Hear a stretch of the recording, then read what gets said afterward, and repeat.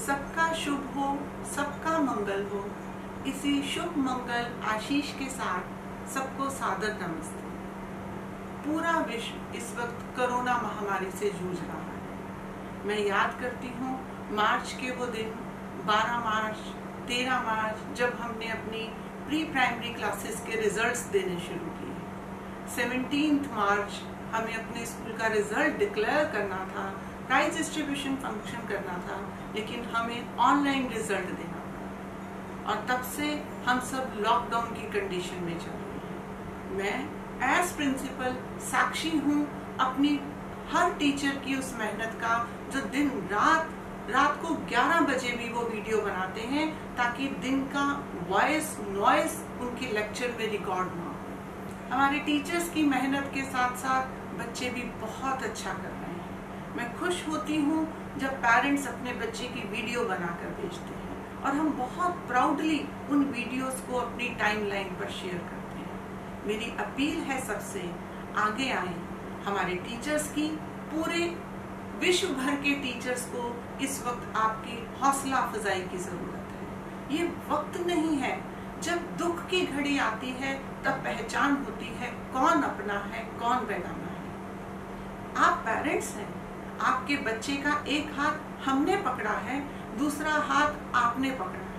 आप कैसे अपने बच्चे के दूसरे हाथ के रक्षक को कमज़ोर होने देना, दे सकते हैं? नहीं दे सकते। जो चंद लोग आपको गुमराह कर रहे हैं, उनको विश्वास दिलाइए, आप उनसे बात कीजिए, उनको बताइए कि टीचर बच्चे का सही मार्गदर्शक है। कोई टीचर सैलरी के लिए काम नहीं करता। कोई टीचर जो टीचर इन हालात में भी मेहनत कर रहा है, वो अपने पैशन से कर रहा है। सैलरी उसको इसलिए मिलती है कि वो मेहनत करता है। मुझे गर्व होता है, हमारा स्कूल तीन गाँवों की ज़मीन पर बना है। सुताना गाँव ऊंटला गाँव और आसन गाँव। सुताना गाँव के सरपंच साहब, उनका बेटा पढ़ता है हमारे स्कूल में। वो पिछले दिनों उन्होंने मुझे अप्रोच किया कि मैडम, बहुत सारा पेरेंट ऐसा होगा जो फ़ीस नहीं दे पाएगा। मैं क्या तीन साल की एडवांस फ़ीस जमा करा दूँ? तीन साल की एडवांस फ़ीस लेने के लिए हम ऑथराइज नहीं है। पर मेरे मना करने के बावजूद भी उन्होंने पूरे वर्ष की फ़ीस को जमा करवाया। इसलिए कि कुछ ऐसे पेरेंट्स भी होंगे जो फ़ीस नहीं दे सकते होंगे, ताकि आपके स्कूल की नॉर्मल दिनचर्या, जो ज़रूरी खर्चे हैं टीचर्स की सैलरी देनी है स्टाफ की सैलरी देनी है, वो कहीं सफ़र न करे। इस वक्त स्कूल ये एक्सपेक्ट करता है। डीएवीज में नहीं, बहुत सारे स्कूलों में वो बच्चे पढ़ते हैं जिनके पेरेंट्स नौकरी पेशा हैं। हमारे पास प्रोजेक्ट स्कूल है, हमारे पास थर्मल प्रोजेक्ट सभी गवर्नमेंट एम्प्लॉयज़ के बच्चे डीएवी थर्मल में पढ़ते हैं। गवर्नमेंट टीचर्स के बच्चे पढ़ते हैं। बहुत सारे सैलरीड क्लास जो पेरेंट्स हैं, उनके बच्चे डीएवीज में पढ़ते हैं। मुझे हैरानी होती है।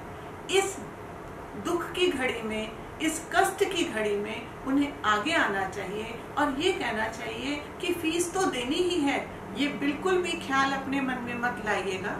कि ये वीडियो फ़ीस कलेक्शन के लिए जारी किया गया है। डीएवी थर्मल उन स्कूलों में से है जो 134 ए के 200 बच्चे स्कूल में पढ़ाता है और उसके अलावा हमारे डीएवी थर्मल के टीचर्स ने एक स्टूडेंट एड क्लब बना रखा है। उस क्लब में वो बच्चे जो मेरिटोरियस हैं नीडी हैं, हम अपनी सैलरी में से उन बच्चों की फ़ीस पे करते हैं। उसके अलावा भी मैं साक्षी हूँ उन इंसिडेंट्स का, जब कोई पेरेंट आता है कि मेरी ये मजबूरी हो गई और मैं फ़ीस पे नहीं कर सकता तो हमारे टीचर्स अपने पर्स में से पैसे निकाल कर उनको देते हैं कि आज आप अपने बच्चे की फ़ीस पे कीजिए।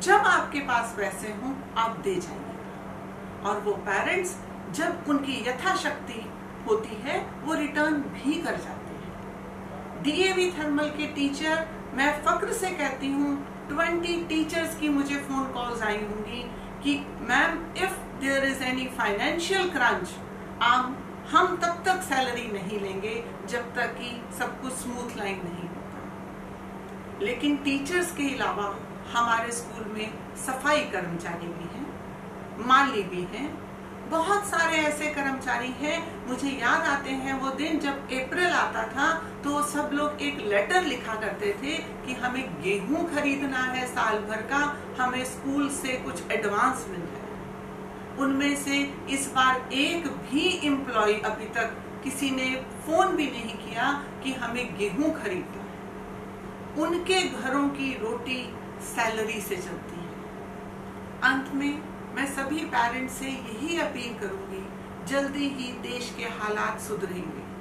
तब तक और उसके आगे हमेशा हम सभी टीचर्स निरंतर कार्यरत रहेंगे आपके बच्चे के उज्जवल भविष्य के लिए। आप भी आगे आए, हौसला बढ़ाएँ, हमारे सहयोगी बने और उन चंद लोगों की बातों पर ध्यान न दें। स्वस्थ रहें, सुरक्षित रहें। धन्यवाद।